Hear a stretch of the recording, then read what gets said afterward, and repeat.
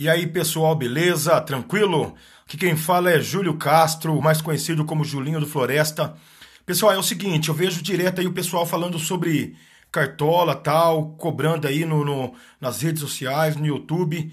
Eu decidi montar um time aí para vocês aí, pessoal, e está mostrando para vocês, beleza? No momento aí, por enquanto, estou pelo celular, mas em breve estaremos montando um canal legal aí pra gente estar tá podendo é, mostrar para vocês as escalações, beleza? E muito mais. Pessoal, eu estou com, com, com um total de 1.100 pontos na, na, no total no Cartola, né? E, e eu acho que seria uma boa pontuação, porque esse ano aqui é, as pessoas têm melhorado bastante aí na disputa aí do, do, do, Cartola, das ligas, né? E tem tido bastante dicas, e é por isso que eu decidi estar ajudando vocês aí, beleza, pessoal? Vamos lá, vou abrir meu time para vocês verem é, como que nós estamos aí no Cartola né? Graças a Deus aí na última partida, aí na última rodada, é, nós pontuamos 75 pontos, ponto 16, com patrimônio de 180, acabei perdendo algum, ah, algumas cartoletas, mas estamos aí, pessoal. Galera, eu essa rodada eu sei que muitas pessoas vai com as mesmas escalações, mas eu estou procurando fazer uma escalação diferente. Primeiramente vou com o Vanderlei no gol, que acredito que vai estar imitando aí Vanderlei, tá? Apesar de ser contra o Flamengo, ele vai diferente, né? Ele vai é, ter bastante defesas difíceis. É, tem também o Mena, né? Ótimo roubador de bola, vem atuando bastante aí. O Mena ele tem 15 roubadas de bola, é, 6 faltas sofridas e ele finaliza muito pro gol. E ele é, adianta bastante ali na, na, na, marcação, ali, ataca bastante. Tem o Sid Clay ali do mesmo, da mesma forma, Sid Clay tem, se, tem despontado bastante aí. Balbuena. E aqui na última ele pontuou 10.30.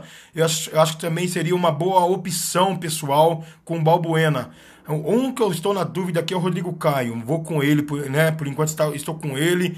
De repente tem o Kahneman lá do, do, do, Grêmio. Seria uma boa também. E tem o Marlon da Ponte Preta. Mas no momento eu estou de Rodrigo Caio.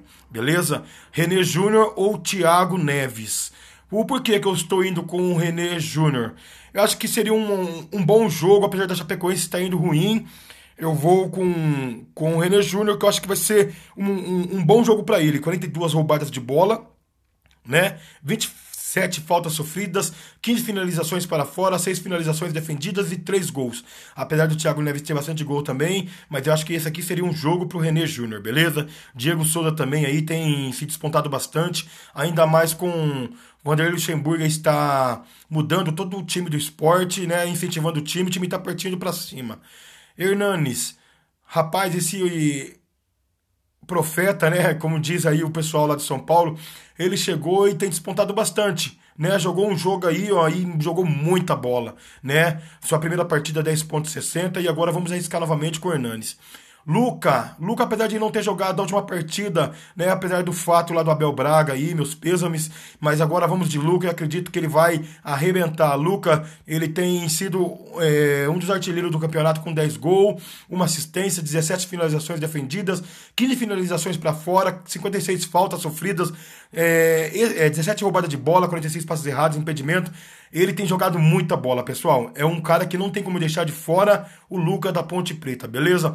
Lucas Prato, apesar de São Paulo pegar aí o Coritiba com nove desfalques, Lucas Prato, ele é um, uma boa escolha. Acredito eu que seja uma boa escolha. Tem o Pedro Rocha também do Grêmio, né? Mas acredito que o Lucas Prato ele vai despontar aí nessa 18ª rodada, beleza? E Ribamar, aqui é meu... Esse Ribamar aqui da Atlético Paranaense, ele vai ser a minha aposta.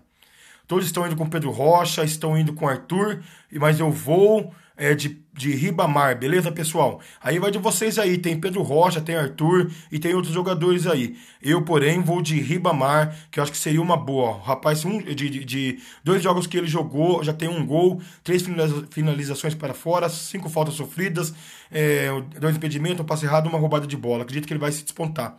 E Dorival Júnior ou Vanderlei Luxemburgo como técnico aí, né? Para a nossa seleção, beleza, pessoal? E é o seguinte, é, eu peço que vocês aí me dêem um crédito aí, acreditem aí na nossa escalação, né? Esse aqui é o primeiro vídeo que eu estou gravando. Lembrando vocês que eu estou com 1.100 pontos. Estou numa liga, preciso pontuar nessas duas últimas rodadas aí, eu preciso ir muito bem.